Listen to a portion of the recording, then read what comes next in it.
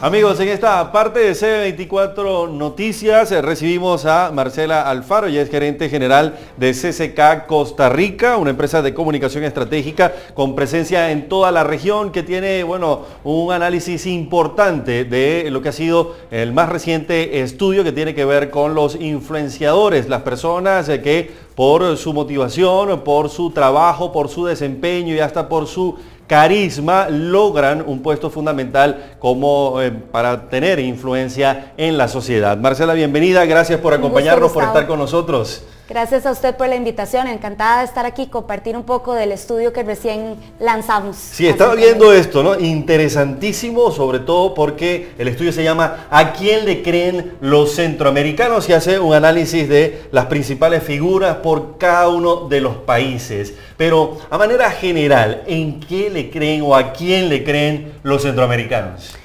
Eh, muy interesante su, pregunta, Gustavo. En términos generales, podríamos decir que los centroamericanos le creen a personas que tienen un nivel de conocimiento de la materia. Por ejemplo, en el área de salud, pues le creen a personas especialistas en temas de salud, lo mismo finanzas, moda, por ejemplo.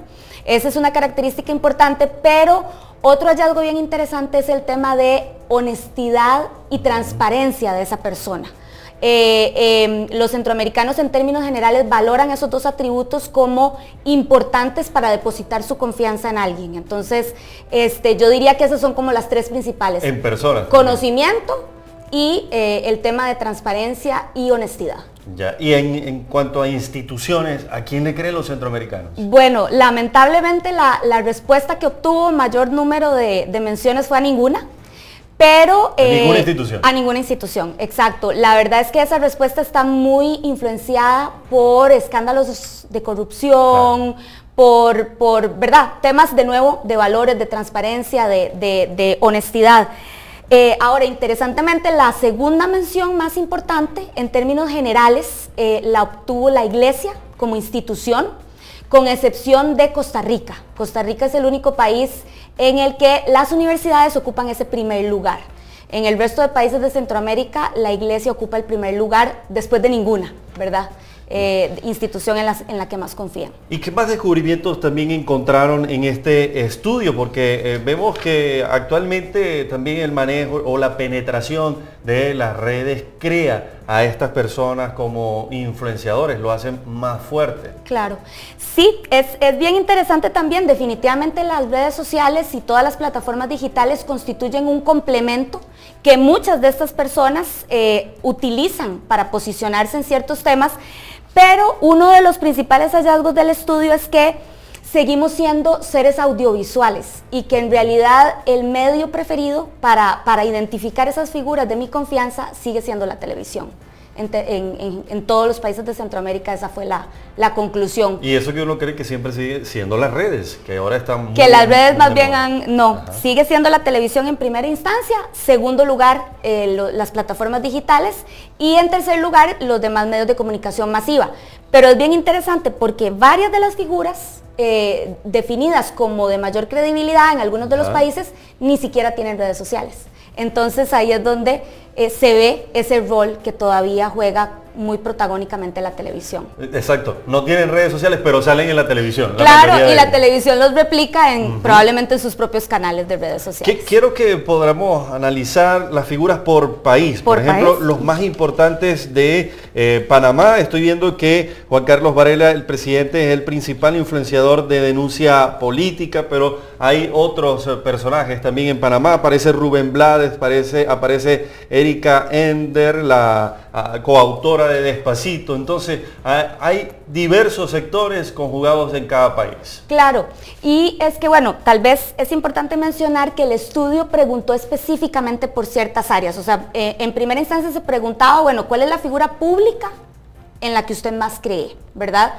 Eh, cada país obtuvimos una respuesta, pero además después dijimos, bueno, si es en tema de, por ejemplo, eh, salud, ¿quién es la persona en la que usted más confía? Entonces, por ejemplo, en ese, en ese aspecto, es bien interesante cómo los ministros de salud de cada país, en la mayoría de los casos, fueron mencionados como la fuente de mayor credibilidad. en temas de deportes, bueno, en el caso de Panamá, por supuesto, Mano de Piedra Durán es una figura, sí, que ese es otro de los hallazgos, ¿verdad? La gente no olvida, o sea, la gente sigue recordando esas figuras ícono de cada país. Eh, por ejemplo, en el caso de Costa Rica nos llamó poderosamente la atención que todavía una figura como Claudia Paul sigue siendo mencionada, ¿verdad? Por supuesto que Keylor Navas obtuvo el primer lugar en deportes. Franklin Chan. Este, sí, Franklin en, en tema de personaje, ¿verdad? Eh, pero sí, son figuras que ya incluso están retiradas, digamos, de, su función, de la función que les dio la exposición pública, pero que siguen estando en la mente de los costarricenses o en general de los centroamericanos. Y también sale Oscar Arias, ¿no? Don Oscar, correcto, como una de las figuras públicas de más confianza. En Nicaragua vemos a personajes de la iglesia, Monseñor Leopoldo Brenes, Monseñor Silvio Báez en los primeros lugares frente a Daniel Ortega, ¿no? El presidente de ese país. Sí, eh, eh, el, tema de los sacerdotes este, es en la, parte, digamos, general pública. Ya cuando entramos a tema de política específicamente, sí sale en primer lugar de menciones en el caso de Nicaragua, eh, don Daniel Ortega, déjeme corroborárselo. Este. Sí, que sale también que sale en, también doña en otras encuestas.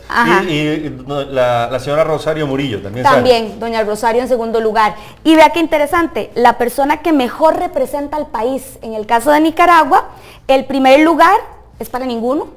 El segundo es para Chocolatito González, que es un ah, boxeador este, que ha cobrado mucha eh, digamos, protagonismo recientemente. Y la tercera persona con mayor menciones es don Daniel Ortega. Ya.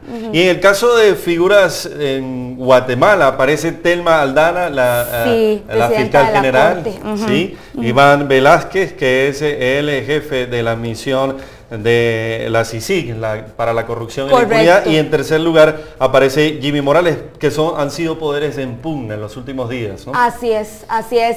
Sí este de hecho esta comisión que usted menciona la, la, comisión exacto la CICIG es muy muy mencionada en el caso de Guatemala ha, tenido un rol eh, bien importante, digamos, en, el desenlace de acontecimientos públicos y eso ha hecho que las figuras que pertenecen a esa institución o los voceros de esa institución pues hayan, hayan cobrado vigencia y relevancia y credibilidad. Sí, señor. Y en El Salvador aparece Nayib Bukele en primer lugar como figura pública que genera más confianza. También está Douglas Meléndez, el fiscal general de El Salvador, ¿no? Así Interesante. es. Así es, sí. Eh, Nayib es alcalde, actualmente es alcalde por un partido independiente.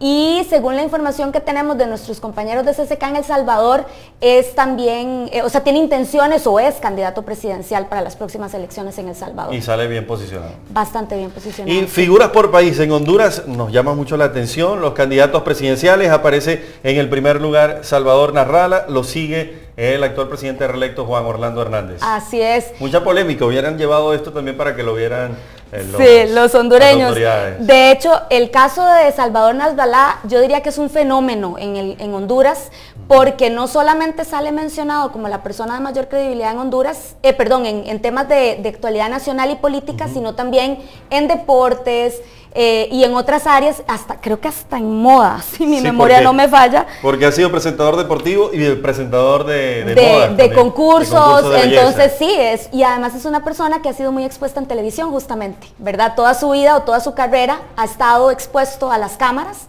entonces, claro que ha ganado una gran, una gran credibilidad y una gran influencia. Marcela, de verdad que lo felicito por el estudio, por el esfuerzo que han hecho y por las revelaciones que trae. Me imagino que eh, no solo se quedará en Costa Rica, sino que extenderán su presentación en otros países de la región. Claro, claro. Este, eh, como le comentaba, CSK tiene presencia en los diferentes países de la región. Somos una empresa de comunicación eh, que está desde, exacto, de comunicación estratégica desde Guatemala hasta Panamá y la intención es hacer una presentación del estudio en cada uno de los países.